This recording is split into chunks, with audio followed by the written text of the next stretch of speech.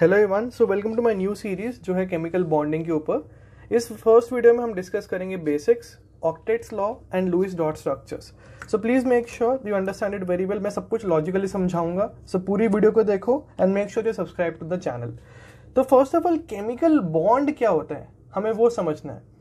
Chemical bond is not an actual bond which exist मतलब क्या? You won't see these you know straight lines or double bonds or triple bonds something like to like this to exist basically so these are not actual bonds जब मेरे पास दो atom होते हैं let me say atom A and atom B ठीक है इन दोनों के जो बीच में एक फोर्स आ रही है the force of attraction attraction होगा तभी बॉन्ड बनेगा अगर रिपल्शन होगा they will go far apart ठीक है so the force of attraction which is present between the two atoms A and B in a molecule is known as a chemical bond. It is not an actual bond, it is just a force of attraction. अब समझते हैं कि कितने types के chemical bonds होते हैं पहले हमने समझा केमिकल बॉन्ड क्या होता है उसके बाद हम पढ़ेंगे टाइप्स ऑफ़ केमिकल बॉन्ड उसके बाद हम पढ़ेंगे कि वो बनता कैसे और क्यों बनता है तो सबसे पहले we have strong bonds we have weak bonds. Okay so separate videos banengi this is just an introduction to the type of chemical bonds. We have ionic bonds. Example is NaCl as you all know Na plus Cl minus is ionic bond. Covalent bond example methane. Okay coordinate bonds which are found in the coordination isomerism and in that chapter. And then we have the metallic bonds. Okay so everything will be discussed very properly. This is just an introduction.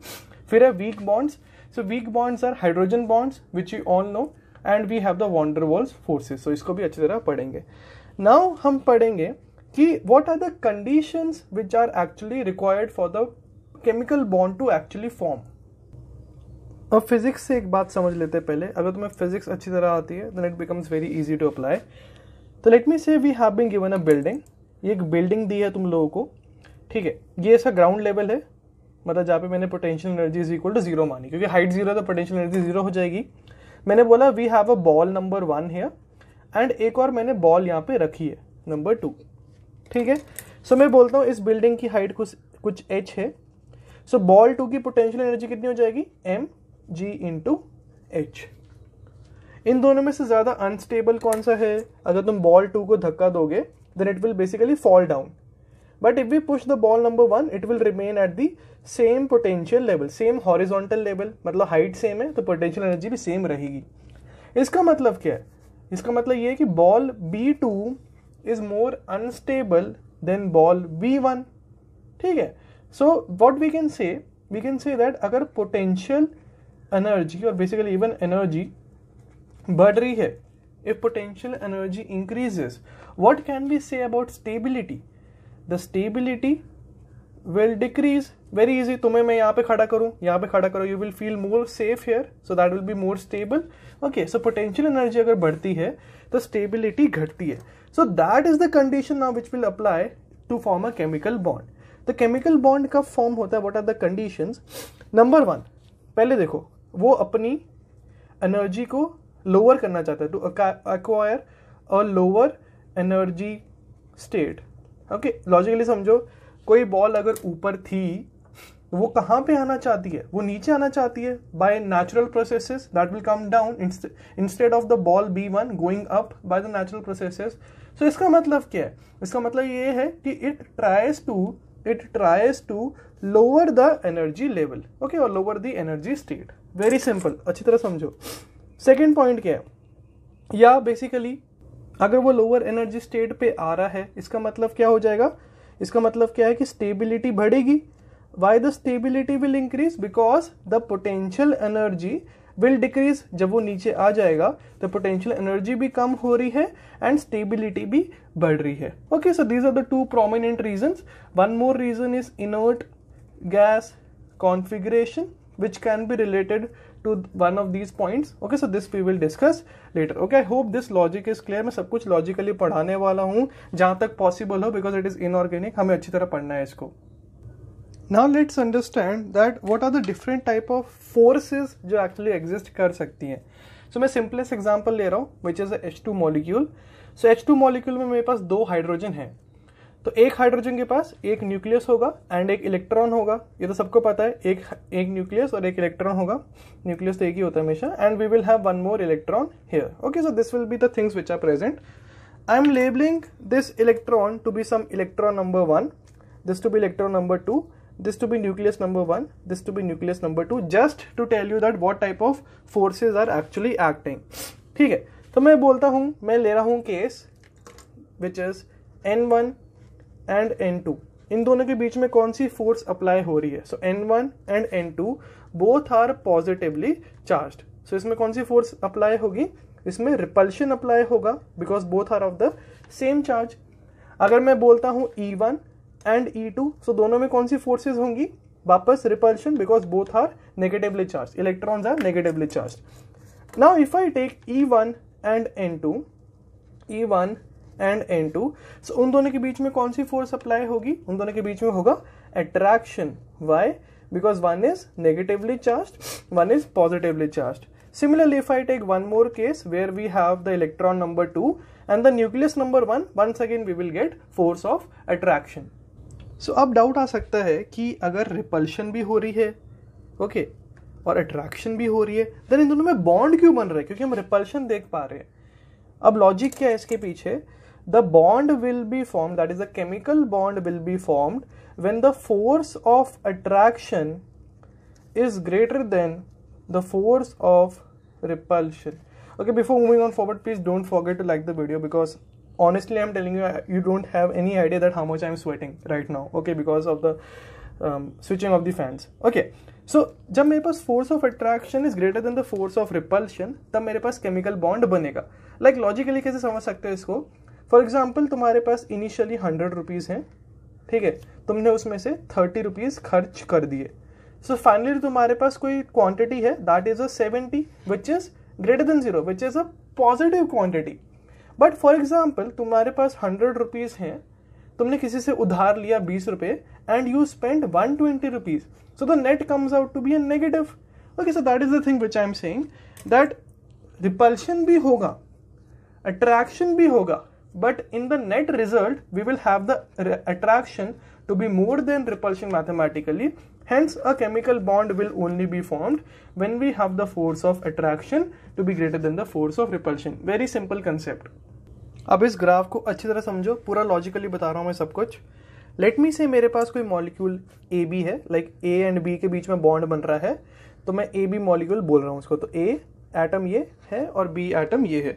ठीक है तो इस position पे in this position we have the potential energy to be the highest logic लगाओ। मैंने तुम्हें पिछले page में बताया था पोटेंशियल एनर्जी अगर बढ़ेगी तो स्टेबिलिटी को क्या हो जाएगा? स्टेबिलिटी घटेगी। इसका मतलब क्या है? The chemical bond wouldn't form okay so यहाँ पे पोटेंशियल एनर्जी हाईएस्ट है। सो so, हाईएस्ट मतलब क्या होगा?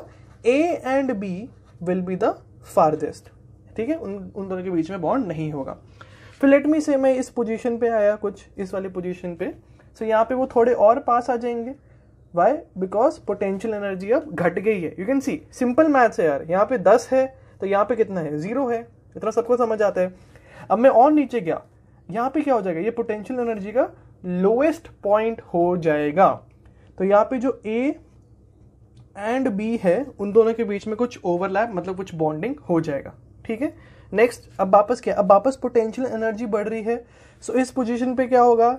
ए और बी के बीच में ओवरलैप कुछ और कम हो गया। सिमिलर इधर जाते रहोगे then you will see that overlap will keep on decreasing ठीक है? Okay like this you can understand so logic क्या है? लॉजिक मैंने तुम्हें पिछले पेज में बताया था with the help of the height example potential energy अगर बढ़ेगी तो स्टेबिलिटी घटेगी।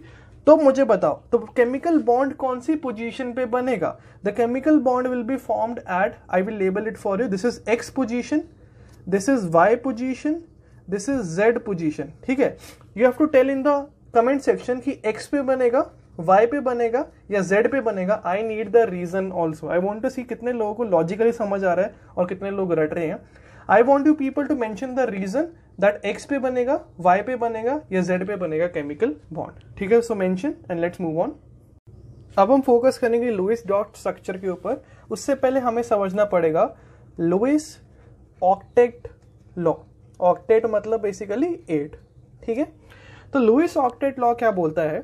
According to Lewis that every element wants to gain the noble gas configuration noble gas मतलब क्या?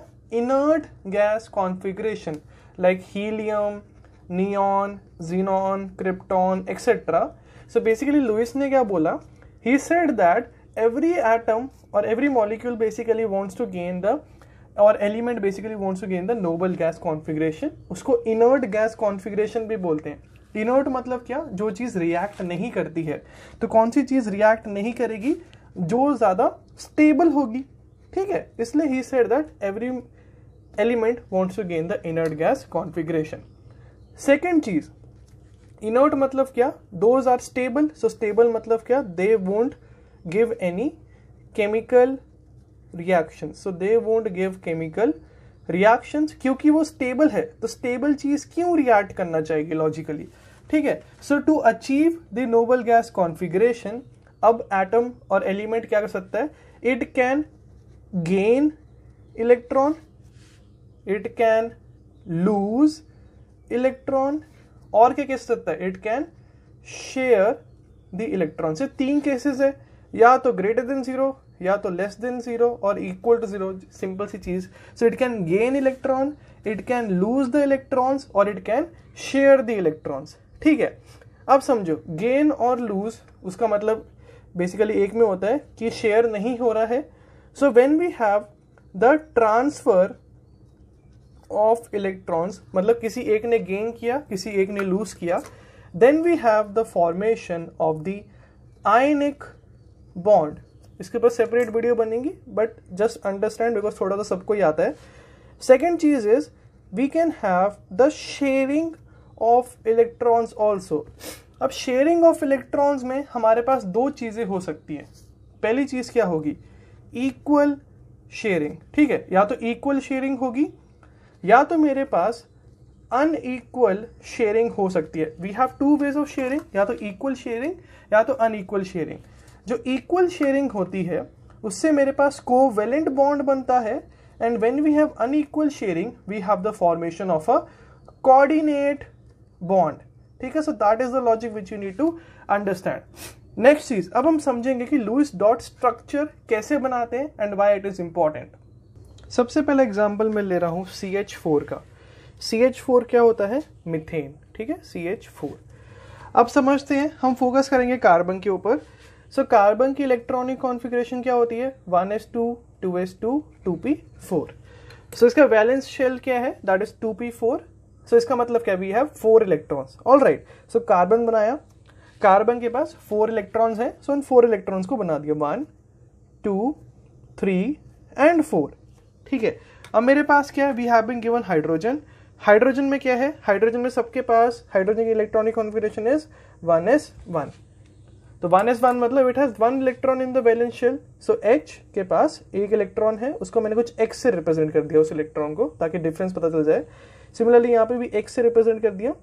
यहाँ पे भी एक्स से रिप्रेजेंट कर दिया इलेक्ट्रॉन को एंड यहाँ पे भी एक्स से रिप्रेजेंट कर दिया। ठीक है। अब समझो ऑक्टेट रूल क्या बोलता है लुइस का? That every one should have eight electrons मतलब for stability we should have eight electrons. That is inert gas configuration. So let's focus on the carbon right now. अब समझो अच्छी तरह। फोर इलेक्ट्रॉन्स फ्रॉम हेयर जो initially थे four electrons from here अगर वो ले ले, अगर वो शेयर कर ले तो उसका फ़ायदा हो जाएगा। कैसे होगा?